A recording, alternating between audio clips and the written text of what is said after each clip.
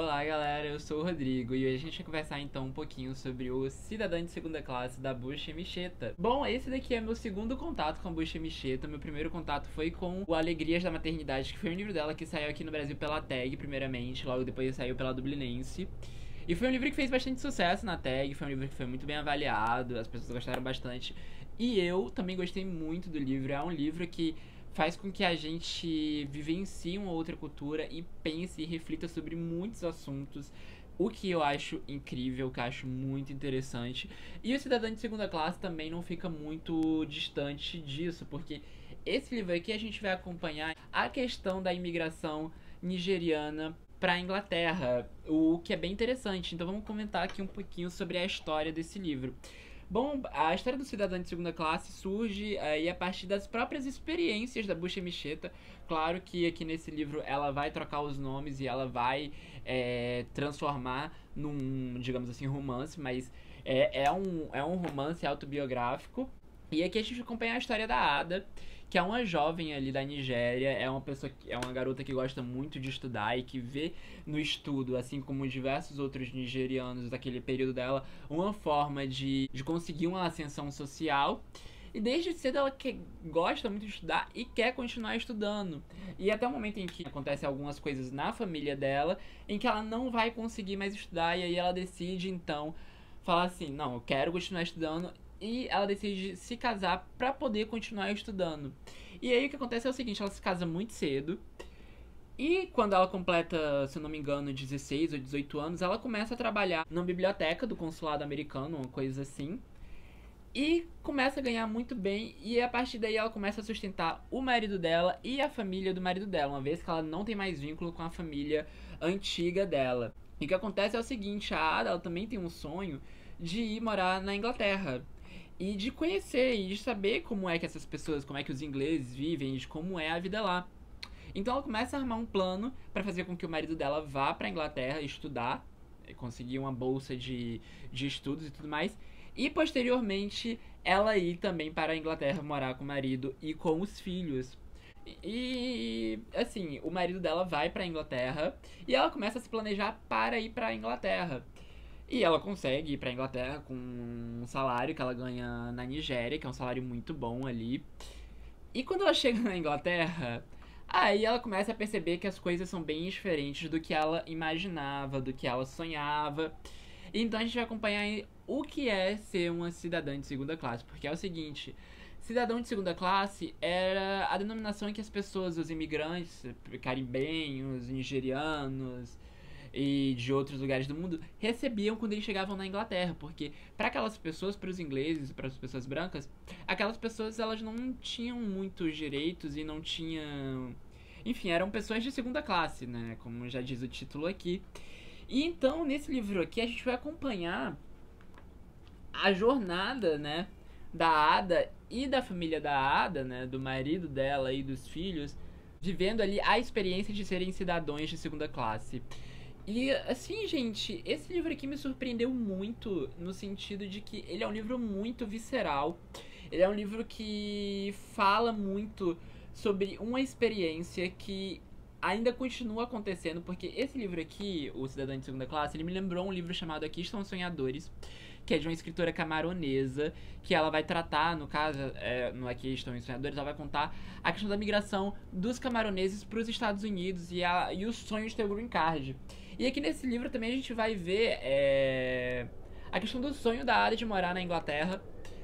E assim, é, é, é, muito interessante, muito impressionante a forma como tanto a Buchemicheta quanto a Embolo, hum, não vou saber pronunciar o nome dela, mas eu vou deixar aqui embaixo, trabalham essa questão do sonho e da realidade e da forma como os governos desses países, tanto dos Estados Unidos quanto da Inglaterra, em momentos muito diferentes, lidam e tratam essas pessoas, esses imigrantes, o que é muito assim doloroso, porque as experiências dessas pessoas são experiências pelas quais elas passam que são quase desumanas, assim, não, não são coisas de que ah, uma pessoa, um imigrante europeu passa. Não, é, é, é uma coisa assim absurda, sabe? E, e assim, esse livro, ele foi muito bom, pelo menos para mim, na experiência de leitura que eu falo, de a gente conhecer, de a gente poder ouvir as vozes dessas pessoas que foram taxadas como cidadãos de segunda classe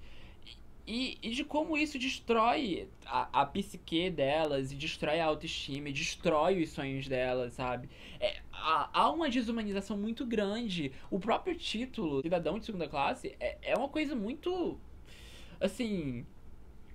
Muito absurda, porque.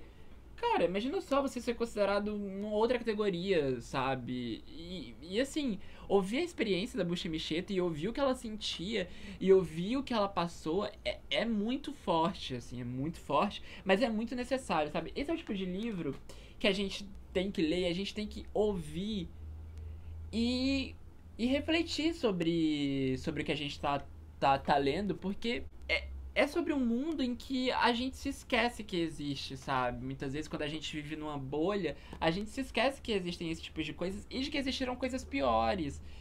E assim, foi um livro que, que, que me tocou e de que me fez pensar e me fez refletir mesmo sobre essa questão da imigração e sobre a questão dos sonhos. Porque tem muita gente que, no caso é, da Ada, ela saiu porque ela queria conhecer o mundo. Porque durante toda a vida dela, por conta da Nigéria ter sido colonizada pelos britânicos, sempre ouvia e sempre a Inglaterra tratada como uma coisa muito legal e muito importante e tal.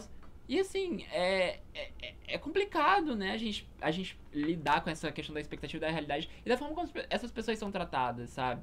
Mas tem muita gente também, e a Ada queria ir por conta desse sonho de estar tá sempre ouvindo, mas tem muita gente também que foge de guerras, que foge de, de situações de extrema fome, de extrema pobreza ou de extrema violência, sabe? Imagina só é, a forma como essas pessoas são tratadas. As pessoas já vêm de uma sociedade em que destroem elas, né? Isso eu falo das pessoas que imigram por conta de guerra, de fome e tudo mais e são tratadas dessa maneira, sabe? É, é um, o que acontece aqui nesse livro é um, querendo ou não, uma desumanização dessas pessoas, sabe? E, e isso é uma coisa que é foda. E é uma coisa que, que apesar de ter, o livro ter sido. É, se passar ali na década de 60, 70, isso ainda acontece. Então, assim, é, esse é o tipo de livro pra gente ler, a gente refletir e a gente começar a se questionar em que mundo estamos vivendo, sabe? E, assim, foi, um, foi, um, foi uma coisa muito poderosa. As palavras que ela utiliza, a Bucha Micheta, são muito poderosas no sentido de tocar o leitor e de fazer assim: olha, isso daqui você tem que pensar sobre isso. Se você não pensou, hora de pensar, sabe? E eu acho isso muito importante, muito importante mesmo. E outra coisa muito interessante desse livro aqui também, que a gente vai ver uma questão de gênero muito forte. E é muito, muito interessante porque a gente vê ali um embate de culturas, porque em um momento quando ela tá na Nigéria, uma coisa que é considerada normal para a cultura nigeriana, na Inglaterra já é uma coisa muito diferente. Então assim, a gente vê esse embate de cultura dentro dessa questão de gênero também, o que é muito interessante e de que a Bush Micheta, é, em momento nenhum, ela vai tentar fa falar, tipo assim, olha só, a cultura da Nigéria tá errada, a cultura da Inglaterra tá certa. Ou a cultura da Nigéria está certa e a cultura da Inglaterra está errada ela sempre tenta dialogar da melhor forma e tenta ver, assim, fazer um, uma análise do que é melhor para ela como ser humano. E, gente, é incrível. É assim, um livro que, que você lê e que você não passa assim, batido dele. Você pensa, você para, você reflete. E que eu acho que é isso que a literatura faz com a gente. Eu acho que esse é o grande poder da literatura. De a gente poder pensar e a gente poder refletir sobre o mundo em que a gente vive e sobre a forma como outras pessoas que são completamente diferentes da gente, assim, completamente diferentes geograficamente, socialmente, culturalmente, são tratadas. Livraço, imperdível. Se você não leu Alegrias da Maternidade, leia. Se você não leu Aqui Estão os Sonhadores, leia. E se você não leu Cidadã de Segunda Classe, leia. Porque esse é o tipo de livro que é muito importante a gente ter publicado e a gente ter tradução aqui no Brasil também, né? Da tradução é da Heloísa Jan, muito boa, aliás. E é isso. E o livro também e isso, é, agora eu quero ressaltar que essas edições de Dublinense são muito bonitas. É uma editora pra gente ficar de olho aí. Olhem só essa folha de guarda. Isso daqui foi do presente que eu ganhei, porque eu ganhei esse livro de aniversário. Olha só, e aí os capítulos, eles têm essa folhazinha de guarda em cada capítulo. E aí aqui atrás tem a foto da bucha Micheta. E gente é muito bonito.